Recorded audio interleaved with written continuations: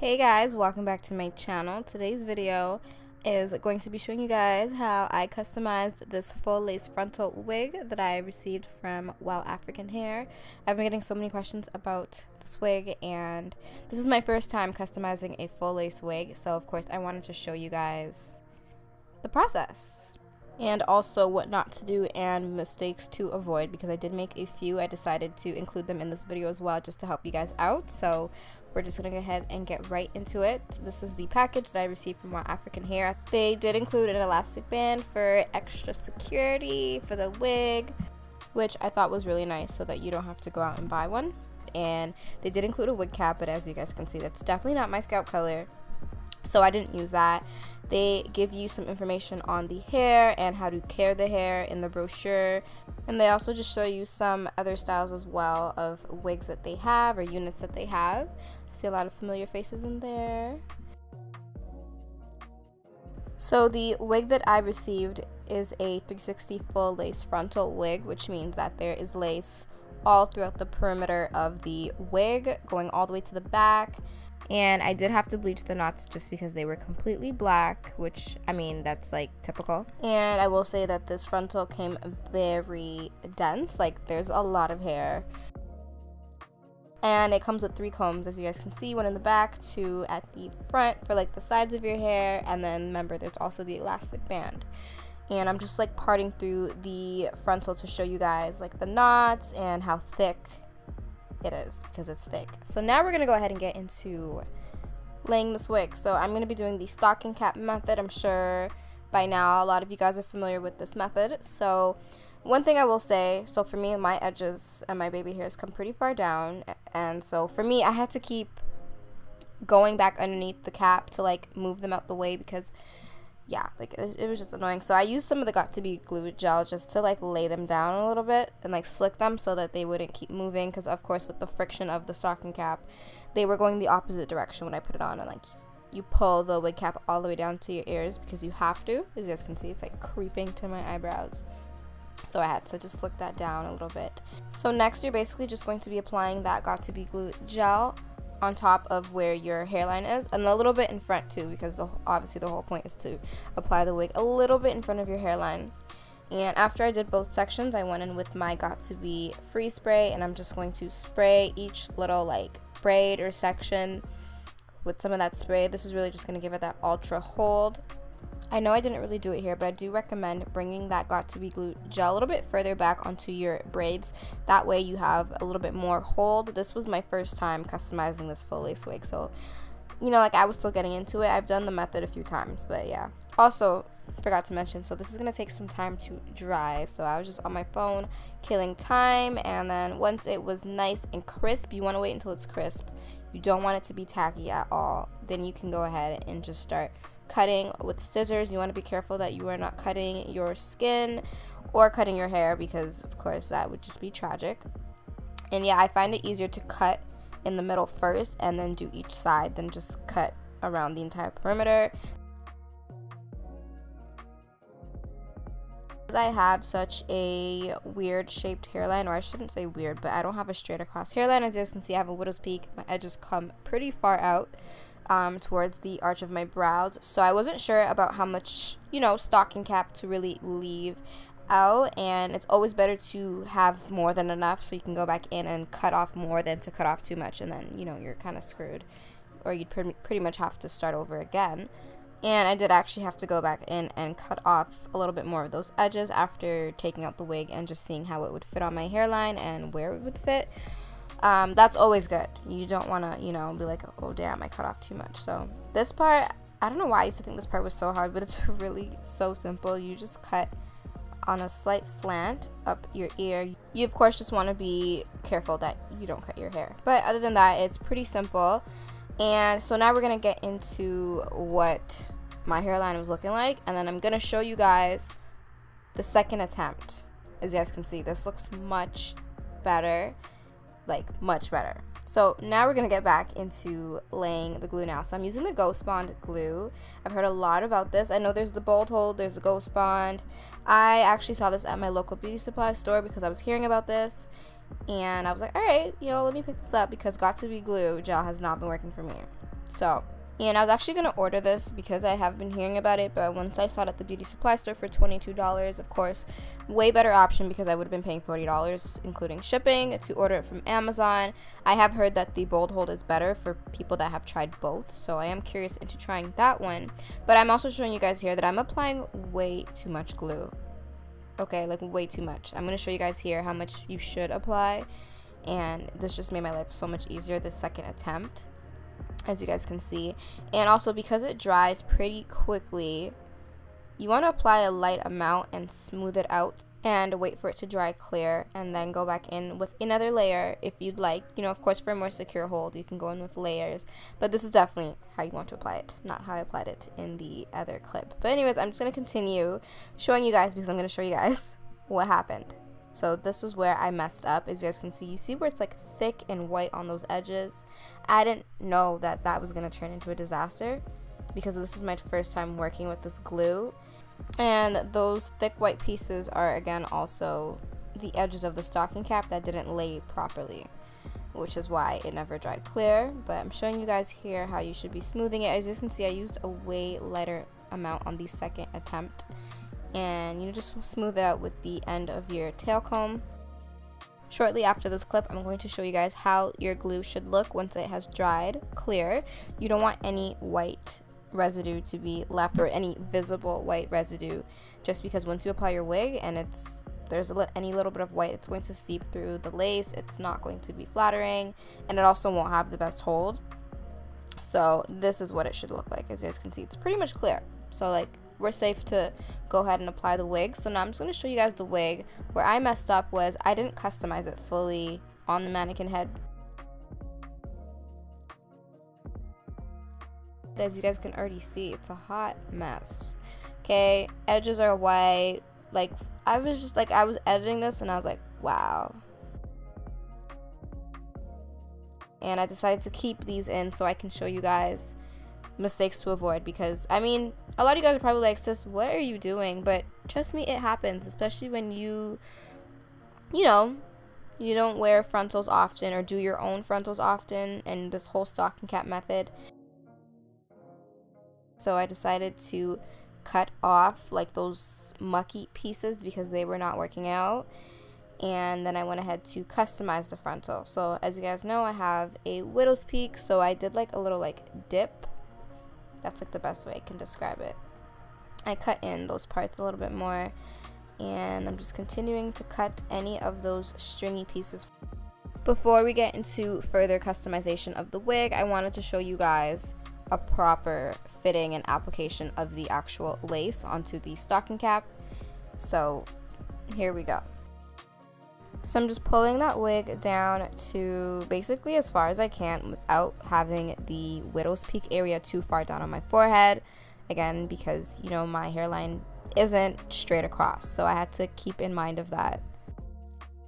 And I'm actually going in with tweezers. This actually made it a lot easier, but you want to be careful not to tear your lace with the tweezers, of course. So as you guys can see, a little bit of my baby hairs were left out. It's not too noticeable, but I did notice after that. Okay like I should have covered that up a little bit more. But it was okay for me because it wasn't too noticeable and I still had the baby hairs to customize so it would be covering them anyways. And I kind of already knew that that was going to happen just because I know how my hairline is and I know with frontals it's you know yeah like it happens so.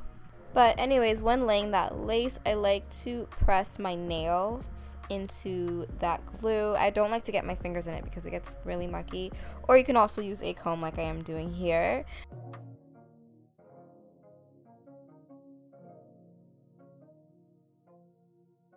So we're just going to bring it back to the first video I filmed with the yellow backdrop to show that after laying the wig, you want to go in with some alcohol to clean up that glue. And I want you guys to keep in mind that the setting with the yellow backdrop was when it didn't go as well. And now I'm just going to show you guys the hairline because although, I mean, the application didn't go as well, I think the hairline was looking pretty well. I didn't see any lace. I still feel like my edges were a little bit, you know, you can see like where my edges, my baby hairs are kind of peeking out.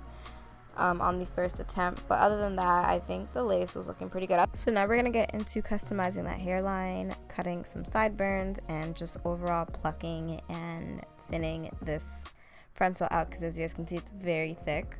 So I'm just going in and cutting off any extra lace that's hovering over my ear.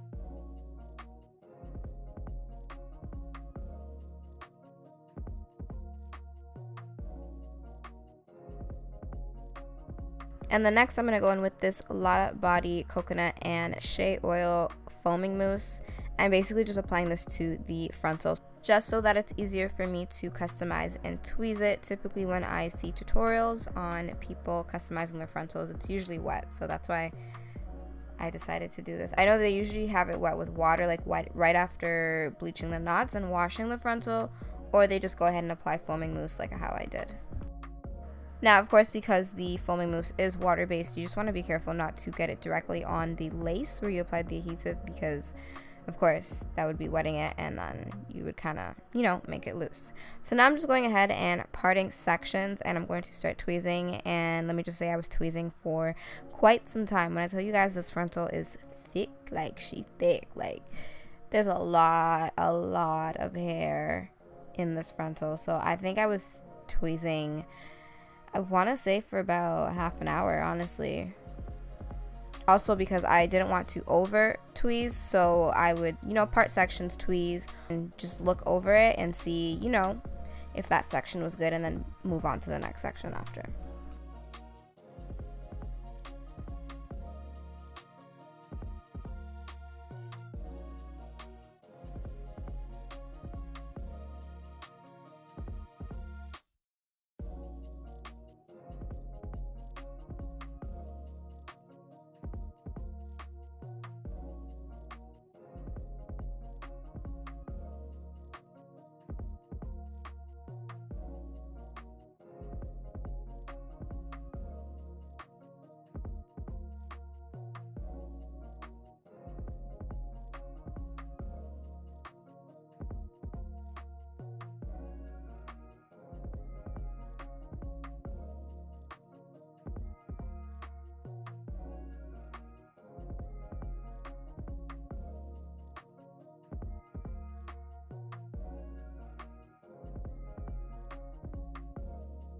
Also, you especially want to make sure you tweeze more so like the top area of the frontal really well just so that you know depending on whatever style you do whether it's side part or middle part you want it to lay nice and flat. Of course if it's way too dense it's gonna look bulky and it's also gonna make your head look bigger and give you that wiggish look and of course that's not the look that you know any of us want to go for so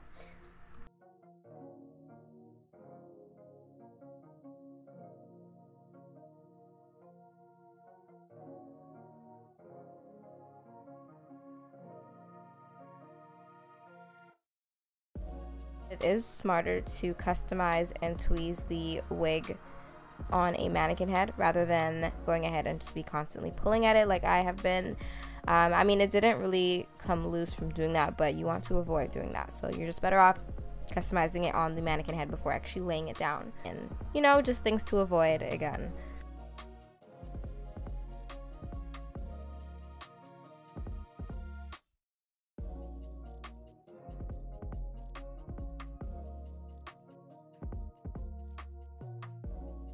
So what I decided to do next was go in and actually flat iron the hair. The hair is already naturally straight, but as you guys can see, it's definitely not actually like bone straight. And this is gonna help to see how thick the hair really is after being styled and heat applied so then I can you know go back in and customize it again after it was just really overwhelming with all this hair on my head so I just feel like straightening hair while you're trying to style it just gives you more guidance so I'm using my BaBylissPRO Nano Titanium Flat Iron and I'm using it on either 410 or 415 degrees. Guys, this straightener is bomb. This is my favorite straightener. I've mentioned this before in previous videos. It's pretty pricey. I believe it's like 120 or 140 dollars on Amazon. Luckily, something told me to go to Marshalls and check because I know Marshalls has a lot of styling tools. And I found it for $39.99. So I'm just showing you guys how long the hair is. It's 22 inches, but I don't remember ever having 22 inches that was this long on me. I don't know. And it's definitely past my butt. It actually sits halfway past my butt, so it's like right in the middle. It's pretty long. So But I do know that that is because I'm petite and I also have a pretty small torso. I'm only five feet. So, of course, depending on your height, you know, different lengths of hair will hit you different areas. It's not going to be the same for everybody. So I'm just going to continue to flat iron this hair. It did take me, I want to say like half an hour, 45 minutes because I wanted to get it bone straight. I did um, pretty small sections because of course this is the first time I'm applying heat to it and I wanted it to be bone straight and I was feeling it. This hair straightens really well and it was super super soft. Um, not to mention it was already co-washed because as I previously mentioned in this tutorial I did bleach the knots so of course after bleaching the knots I just washed it with some shampoo and some conditioner.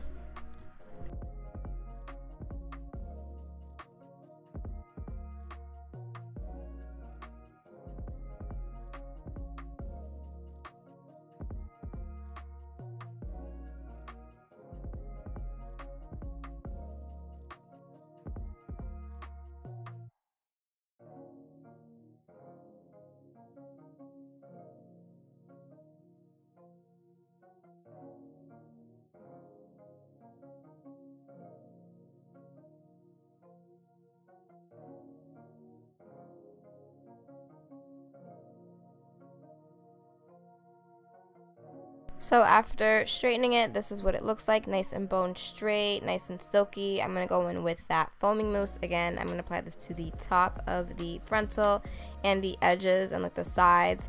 And I'm applying this to get rid of any flyaways. As you guys can see, there's like a few little hairs sticking up. You're bound to always get flyaways when customizing frontals because you are, you know, like breaking hair follicles and tweezing hair and stuff like that throughout this entire wig application in both settings, like this initial video and the second one that I filmed, I was still going in and tweezing and tweezing and tweezing because I was still getting used to the customization process and I felt like there was always something to go back in and customize. Because when I tell you guys this frontal is like, it's thick.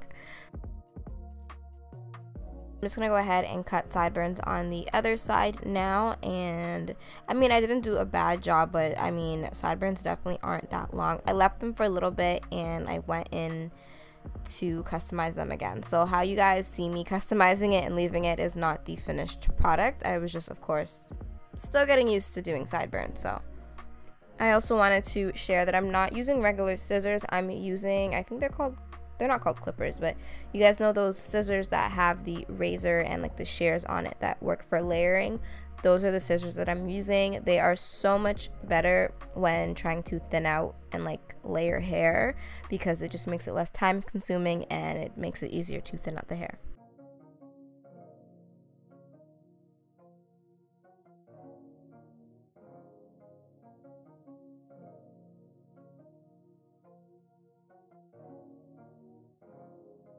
So now we're going to go back to the second setting and I'm showing you guys that I'm still customizing and tweezing this frontal and I also went back in to customize those sideburns. So I'm just going to let you guys see that and then when we get into doing the baby hairs and laying, you know, just making everything look nice and sleek, I will be back.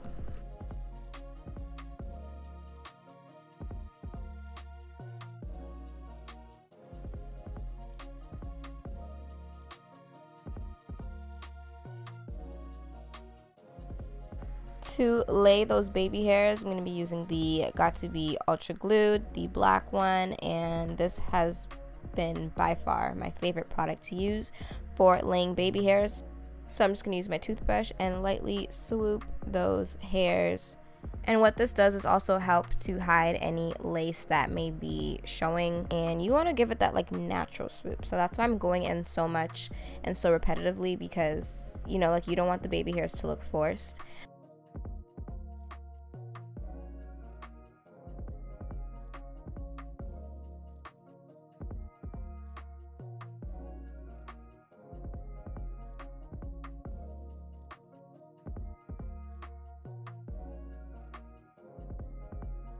And I'm also just customizing the baby hairs for the other side as well.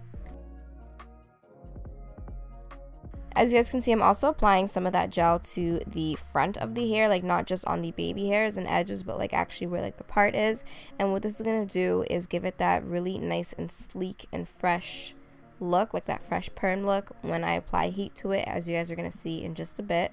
And I learned this from So Char. She has amazing tutorials on frontals, like she's bomb. So I always watch her tutorials and I've noticed that she adds some product to the edges as well and it really it really just brings the look all together.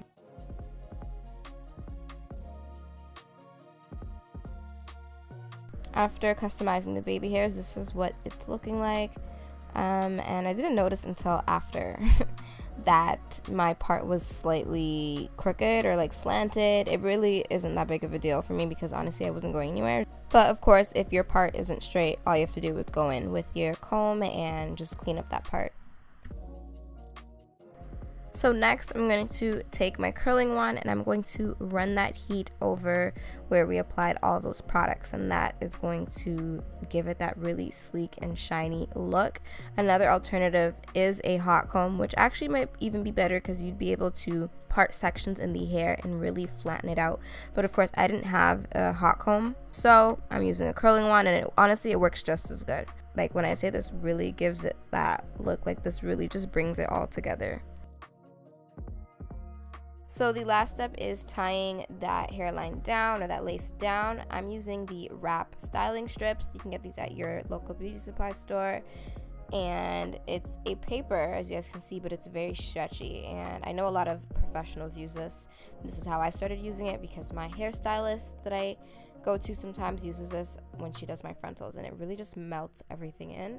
So I'm tying down my frontal with this. You can use a head tie as well. I just really like how this works with the frontal and the products because it like seeps everything in. Literally makes it look like scalp. So and you can keep this tied down for as long as you like. I recommend keeping it tied down for at least a minimum of 10 minutes just for the best results.